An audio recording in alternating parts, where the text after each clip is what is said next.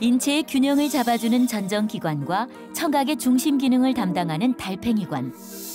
이 두 기관의 내부는 림프액이 순환하는데 매일 일정한 양이 만들어지고 또 흡수돼서 항상 같은 양을 유지한다.